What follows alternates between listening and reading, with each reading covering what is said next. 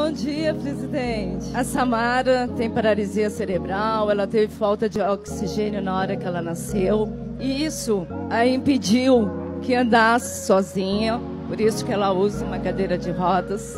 Isso a impediu que ela falasse com voz, mas ela usa comunicação alternativa e com as políticas públicas de inclusão escolar, ela foi para a inclusão escolar, ela fez o ensino fundamental, o ensino médio, prestou vestibular e foi para a faculdade e se formou em jornalismo.